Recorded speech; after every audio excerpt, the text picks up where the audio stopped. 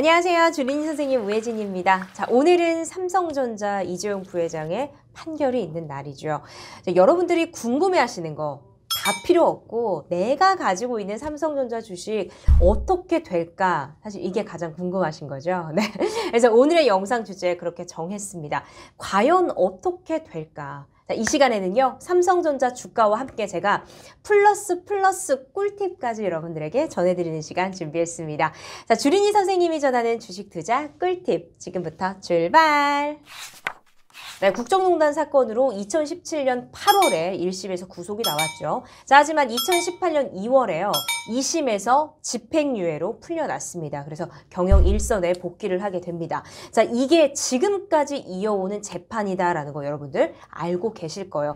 저 요즘 우리 개인 투자자분들 주식 열풍이다 보니까 정말 삼성전자는 다 가지고 계시다라고 좀 볼 수가 있을 것 같은데요. 이 판결과 관련해서 아, 내가 가지고 있는 주식 어떻게 될까? 이게 진짜 가장 고민이시잖아요. 네. 지금부터 한번 말씀드리도록 하겠습니다. 자, 결론부터 말씀을 좀 드리면요. 이 삼성전자는요, 이재용 부회장의 좀 재판 리스크보다는 실적에 따라서 주가가 움직이는 게 더 맞다라고 보여집니다. 자, 2017년 8월 달에 볼게요. 이 부분인데요. 그 판결과 관련해서 재판과 관련해서 주가가 좀 빠지는 모습이 보였어요. 자, 빠졌는데 1심에서 구속이 됐죠. 근데 지금 한 달도 안 돼서 다시 주가 회복했어요. 그렇죠? 이런 거 보면요. 언제 그랬냐는 듯이 주가는 회복했습니다. 아직 구치소에 있는데. 자, 장기적으로 봤을 때는 주가에 큰 영향이 없다고 보고요. 이렇게 이 흐름처럼요. 단기적으로 좀 봤을 때는 단기적인 조정이 있을 것이다. 오너 리스크로 인해서. 하지만 이내 다시 회복했다라는 게 제 결론입니다. 자, 워낙 큰 대기업이고요. 국내 주식시장을 이끌고 있다고 해도 과언이 아닌 삼성이라고 저는 생각을 합니다. 그리고 우리나라 어떻게 보면 경제의 흐름을 바꿔놓을 수 있는 막대한 영향을 가지고 있는 게 바로 또 삼성이라고 좀 보여지거든요. 그래서 시장에서는 이 이재용, 이재용 개인이 아니라 삼성전자 그 자체를 본다고 하는 게 좀 맞다라고 저는 판단이 됩니다. 자, 여기서 결정을 하시면 됩니다. 삼성전자로 단타 치는 분은 없으시죠? 제가 삼성전자는 단타 치는 종목이 아니라고 누누이 말씀을 드렸습니다.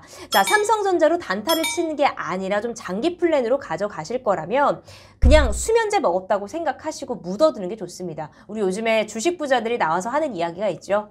어, 주식 종목 샀으면 수면제 먹고 기다려라 하잖아요. 자, 오늘 판결에서 삼성 입장에서 봤을 때 부정적인 영향이 나온다면 단기적으로 는 조정이 있을 수가 있겠죠. 뭐 긍정적으로 결과가 나온다면은 큰 문제는 없겠지만요. 자, 그렇기 때문에 단기적인 조정이 있을 수 있겠다. 어, 하지만 그거는 버틸만 하다라고 말씀을 드리고 내가 삼성이 너무 올라가서 조금 고점에 샀다 하시면요. 조금 빠졌을 때 여러분 추가 매수를 통해서 단가 낮추시는 방법도 좀 말씀을 드리고요. 하지만 삼성은 장기 플랜으로 가져가시는 분들이 많죠. 그래서 뭐 이제 10만 전자, 12만 전자 이야기가 나오고 있기 때문에 그걸 바라보고 나는 이런 조정을 좀 견딜 수 있다라고 생각이 드시면요. 그냥 묻어두시는 게 저는 좋다라고 말씀드리도록 하겠습니다.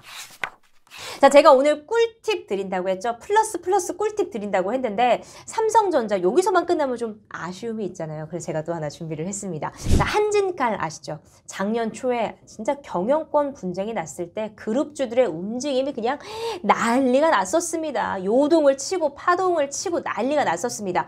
자, 우리가 이런 부분 여러분들 꼭 체크를 해야 된다라는 거 말씀드립니다. 이 큰 기업들은요. 다 지배구조로 묶여 있잖아요. 지분으로 다 묶여 있기 때문에 영향이 있습니다. 자, 이재용 부회장의 이슈가 나오잖아요. 삼성에 대한 이슈가 나오면요. 우리 다 삼성전자만 바라보는데 크게 움직이는 종목 하나가 있습니다. 바로 호텔신라 우선주입니다.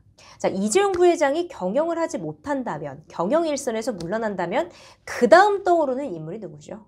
그렇죠. 바로 이부진 신라호텔 사장입니다. 자, 호텔 신라의 주가를 우리가 바라볼 필요가 있는데요. 호텔 신라도 호텔 신라지만요. 오늘 저는요, 여러분들에게 호텔 신라 우선주에 대해서 말씀드리려고 합니다. 자, 보시면요. 2017년에 어, 2017년에 이슈가 나왔을 때 거래량 터져주면서 급등하는 모습 보이시죠? 이재용 부회장 이슈가 있었습니다. 자, 이 부분도요. 지금 대법원 전원합의체로 파기환송 선고가 있었던 그 시기입니다. 8월 달에 8월 29일 그 부근이에요. 자, 그리고 또 2020년 보면요. 2020년에 이런 급등 흐름이 나옵니다. 이재용 부회장이 이제 나는 아이들에게 경영권을 물려주지 않는다라는 이야기가 또 나오면서요. 호텔 신라 우선주가 급등을 했습니다. 자, 호텔 신라 우선주 왜 이런 움직임을 보일까요? 우선주는 기본적으로 일반 종목에 비해서 주식 수가 비교적 적습니다. 그렇게 되면 주식 수가 적다는 건요.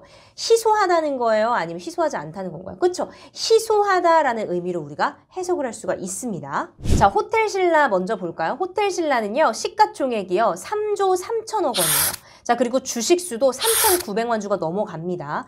호텔 신라 우선주 볼까요? 시가총액이 지금 684억 원이에요. 그 다음에 주식 수는요. 75만 주 정도밖에 안 됩니다. 자, 여러분 이렇게 되면요.